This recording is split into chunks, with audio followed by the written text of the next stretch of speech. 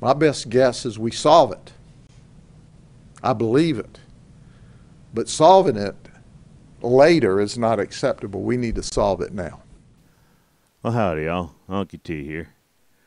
Uh, this here particular video uh, was of a particularly heinous and evil crime that was committed down in Frostproof in, in the southern end of um, Polk County, uh, pretty wilderness type area. And um, as always, Sheriff Grady Judd is out here trying to inform the public, um, you know, about the, the details best he can so that they can catch the murderers without giving it away. Um, you'll see that, I guess. But what the thing is, is this video was real long. Like there's a lot of inane questions at the end from the reporters and all that stuff. So uh, I cut her down. I tried to cut out pieces best I could and not kind of lose the flow of the story. So I don't know. I did what I could. Uh, I hope y'all uh, learned something from this, and, and uh, we'll carry on from there. Today, we're going to give you an update on the triple homicide that occurred on Friday night. Our detectives have literally been working 24/7 since the moment we received the first 911 call in order to solve this horrific case. This is a sad case. They're all sad, but this one's particularly sad. You've got three best friends. What is more wholesome than going fishing near Frostproof on a Friday night? It's orange groves and cow pastures and a beautiful lake. For those of you not, who are not from the area, Frostproof is a wonderful, very, very safe community. In fact, all of Polk County is very safe. Our crime rate's exceptionally low. We receive a frantic 911 call. When we respond, we ultimately talk to the dad, and dad's home in bed asleep. He knows that his son's going down there to fish with his buddies. He receives a night, an emergency call from his son, and all he can make out is help. Well, dad jumps out of bed, dresses, and runs to the area as quickly as he can, where he encounters his son's truck parked in the road, and, and they're all shot up. It's a massacre. He runs to his son's side, and he and his son are there in, in, in an intimate moment with his son actively dying, and his son is saying some things to him which obviously we're not releasing to the public at this point in time. Then he realizes he doesn't have a cell phone and he jumps in his car and he runs back to the community of Sunray, which is just about five or ten minutes away, to a convenience store that once again he knows the folks, they know him. 911 is called. There's been some question about, well, why didn't dad use the son's nine phone, uh, the son's phone from there? Well, I don't know whether or not he looked for it, but he probably wouldn't have found it. We had a difficult time finding it ourselves after the fact when we were doing our investigation. And dad, in this hyper state of wanting to get help, wouldn't have been able to find the phone, I don't believe. Yeah. We've had well over 100 tips. Some of them look promising, some of them are absolutely ridiculous, but hey, we'll take them all. We'll sort through them because we need the information. We still don't have arrest at this moment. We are following this case up.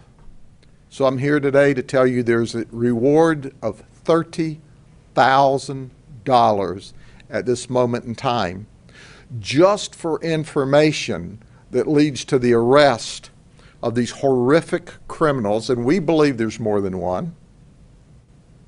There may not be because we don't have them yet, but when you look at the crime scene and you look at what we saw, it gives us reason to believe, at least at the early stages of the investigation, that there was more than one suspect.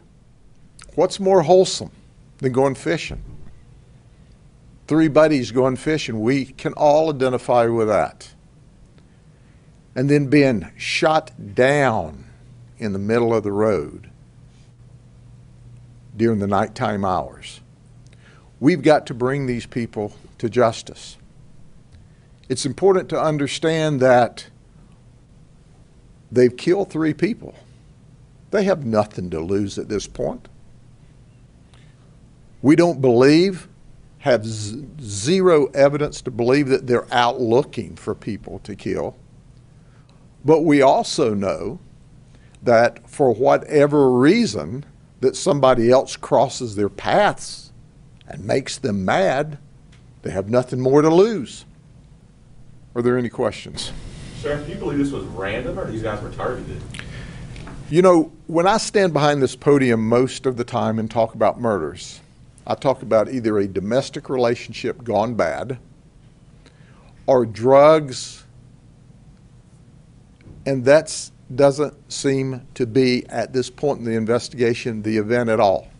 This does not look like a drug deal gone bad. We have zero evidence of that. It does not appear to be a domestic event. We don't know the reason at this stage of the investigation.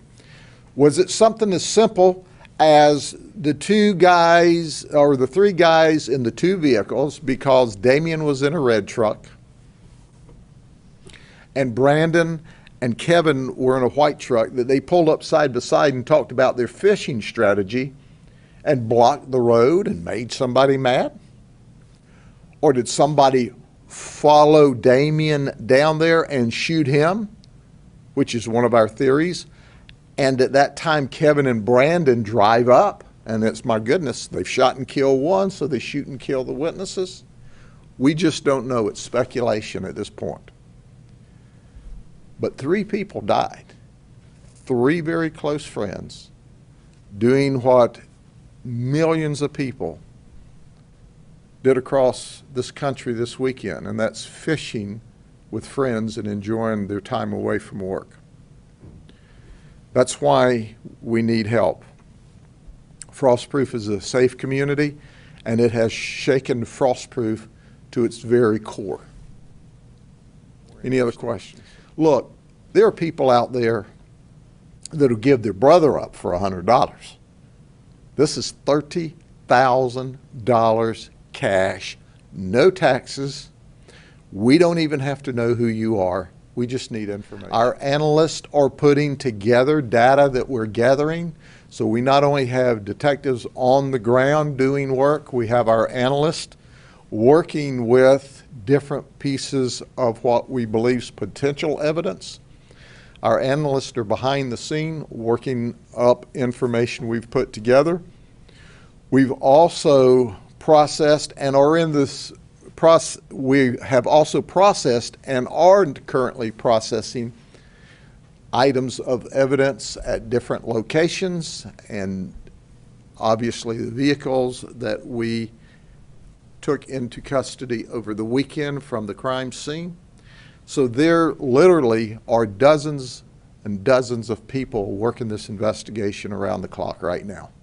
If there was something we needed to share in order to generate more information, we would do that.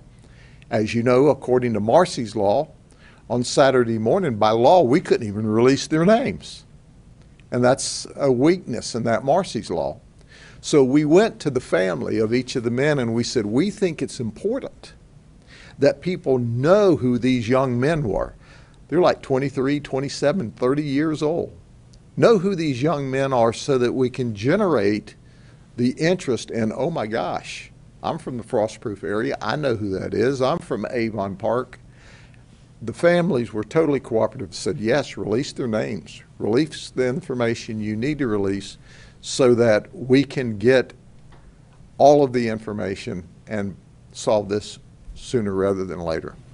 Sheriff, you alluded to it a little bit with the, the cell phone and for the victim's fathers, um, but we know rumors are swirling on Facebook. Some family members are getting harassed um, and targeted by people who think they figured this thing out. Um, what do you think about that? What's your message to those people? Well, first, you know, I've had editorial comment about social media in the past. Oh, most people are well meaning and, and want to help, and for that, we're grateful. There's a handful of nuts and you need to shut up and get off of Facebook and leave the families alone. For those that are well-meaning and trying to help, thank you from the bottom of my heart. There are evil, mean, sinister people out here that are in fact upsetting the family. And the families took that risk by identifying their children, but it's to them it was worth the risk so that we could get the information out so that potentially we can solve the crime sooner rather than later. And that's what we're after. We're going to work nonstop until there's absolutely nothing left to do. And my bet, because our homicide detectives are the, simply the very best, we've only had like two unsolved homicides in the last 11 years. My best guess is we solve it. I believe it. But solving it later is not acceptable. We need to solve it now. But to think these three young men were gunned down at night on the way to fish in a very quaint, quiet, safe, frostproof area shocks the conscience of not only the people in frostproof, but as I've learned, throughout the United States based upon the media coverage this weekend. Well, there you go, my friends. Now, as I said earlier, it's a, it's a sad, a particularly sad and heinous crime. Um, seems to be no shortage of that anymore with the depravity of humanity and what the hell the world's come to. But we'll not dwell on the negatives. We'll go in the positives and say that uh, there's a lot of good people out there that are going to help them catch these people. Now, this happened about four months ago, give or take. Uh, it was in the, uh, you know, big time in the uh, through the United States and around the world. I think even got some coverage. So, uh, shortly to follow will be the actual criminals. That'll be the next video. They caught them. Spoiler.